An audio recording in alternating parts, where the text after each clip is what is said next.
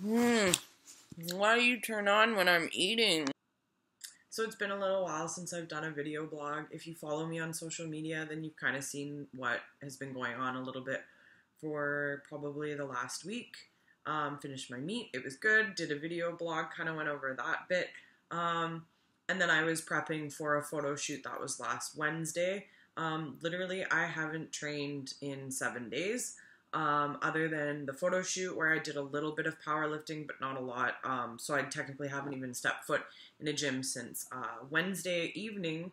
Um, I was exhausted after the meet. Uh, biting, I was bit off probably a lot more than I could chew. Um, wasn't really expecting this photo shoot to happen, but a lot of exciting things are coming um, in the future, and uh, that was kind of the start. So I knew after the meet that I really had to buckle down and get it done. Um, kind of dieted down, really made sure that I was in the shape that I wanted to be in for the photo shoot. Consulting with my coach, I was just really upset that I had lost the motivation to go to the gym based on the fact that my body wasn't ready for it, um, despite the fact that my mind really, really wanted to push myself to get into the next training cycle um, after the success of the meet.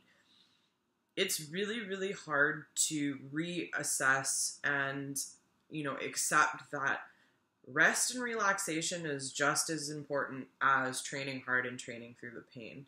And there's a very fine line, and I'm really, really, there's a really fine line between um, you know a little bit of pain and a little bit of issues with mobility and stretching and training through that um, and coming out on top and literally beating yourself down and uh, making a situation worse than what it already is. And i think a lot of the times what makes a great lifter and what makes a great athlete is those who are able to see where that line is drawn and to be able to st- step back and reassess your situation and give yourself some time. It was really, really nice just to relax, eat.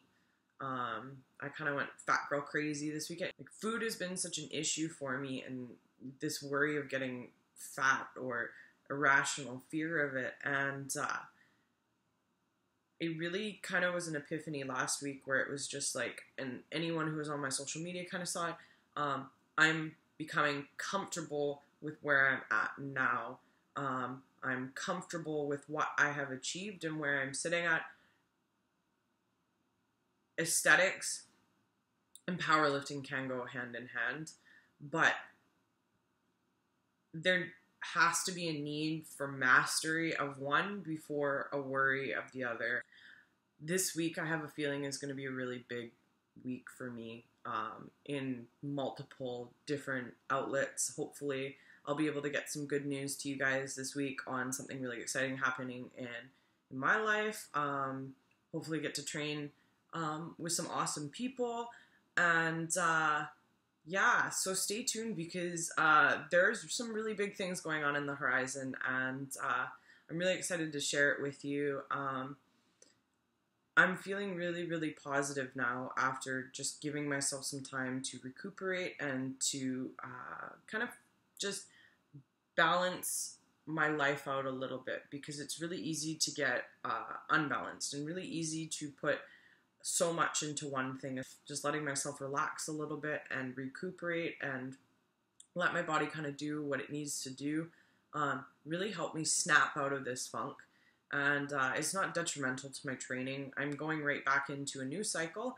Um, and uh, at least I'm going into a new cycle with a positive attitude you gotta let yourself have some fun. You can't go full batshit crazy in one direction and fucking tunnel vision yourself to uh, losing your mind because that's what it feels like sometimes. And I hope you guys had a really, really good weekend. Um, and I hope that you're going into tomorrow as positive as I am. If not, um, it's always good to just take a step back and reassess your your goals, reassess um, the way that you want to conquer these goals. And sometimes it just takes a little bit of time. Um, if you are going into something with a negative mindset, how much are you going to achieve if, uh, you know, you were to maybe take a step back and take two days to think about um, what you want to do, uh, reassess the situation, reassess your mindset, kind of um, put yourself on a different path into that situation. Um, so you lose two days, but if you were training those two days with a really terrible mindset, what are you going to achieve? Your your training sessions are terrible. Your mental is terrible. Your body feels terrible. Um, you're not getting much out of that. Take some time, reassess, recuperate, eat. Um, surround yourself with positive people who believe in you as much as you believe in yourself. And honestly, those two days, despite the fact you're losing two days of training, or for me, seven days of training, um, I'm going into Monday stronger than I would have if I trained the last week. Uh, and that to me is more important. Really seizing this training cycle by the balls and taking it all the way. Sure. I don't know. That seems good. Uh, keep it sleazy. Uh, and uh, I'll get back to you later this week.